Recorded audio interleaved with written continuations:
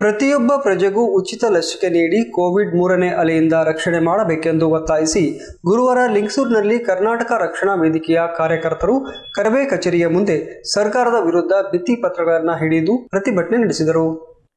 Covid ಎರಡನೇ ಅಲೆಯಲ್ಲಿ ಸರ್ಕಾರದ ಅಧಿಕೃತ ಅಂಕಿ ಅಂಶಗಳ ಪ್ರಕಾರವೇ ಮೂವತ್ತು ಸಾವಿರಕ್ಕೂ ಹೆಚ್ಚು ಸಾವುಗಳು ಸಂಭವಿಸಿವೆ.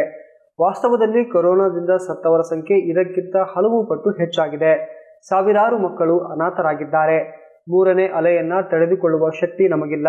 ಹೀಗಾಗಿ ತ್ವರಿತಗತಿಯಲ್ಲಿ ಲಸಿಕೆ ಕೊಡುವ ಕಾರ್ಯ ನಡೆಯಬೇಕು. ರಾಜ್ಯದ ಎಲ್ಲಾ ನಾಗರಿಕರಿಗೂ ಬಡವ ಶ್ರೀಮಂತನೆಂಬ ಭೇದವಿಲ್ಲದೆ ಉಚಿತವಾಗಿಯೇ ಲಸಿಕೆ ಕೊಡಬೇಕು. ಖಾಸಗಿ ಆಸ್ಪತ್ರೆಗಳಲ್ಲಿ ದುಬಾರಿ ಹಣಕ್ಕೆ ಸಿಗುವ ಲಸಿಕೆಯಿಂದಾಗಿ ಅಸಮಾನತೆ ಸೃಷ್ಟಿಯಾಗುತ್ತದೆ. ಹೀಗಾಗಿ ಖಾಸಗಿ ಆಸ್ಪತ್ರೆಗಳಲ್ಲೂ ಉಚಿತವಾಗಿಯೇ ಲಸಿಕೆ ನೀಡಬೇಕು. ಹಲವಾರು ದೇಶಗಳಲ್ಲಿ ಯಾವ ರೀತಿ ಒಂದೇ ಒಂದು ಲಸಿಕೆಯನ್ನ ಮಾರಾಟಕ್ಕೆ ಇಟ್ಟಿಲ್ಲವೋ ಹಾಗೆ ಭಾರತದಲ್ಲೂ ಸಹ ಲಸಿಕೆ ಮಾರಾಟದ ವಿಷಯವಾಗಬಾರದು.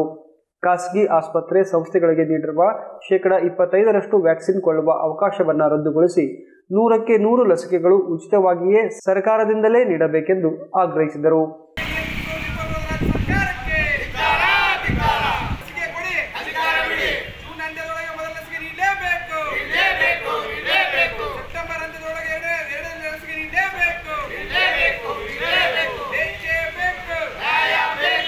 ಈ ವೇಳೆ ಅಧ್ಯಕ್ಷ ಜುಲಾನಿ ಪಾಷಾ, ಶಿವರಾಜ್ ನಾಯಕ್, ಹನುಮಂತ ನಾಯಕ್, ರವಿಕುಮಾರ್, ಅಜೀಜ್ ಪಾಷಾ ಹಾಗೂ ಇನ್ನಿತರರು ಇದ್ದರು.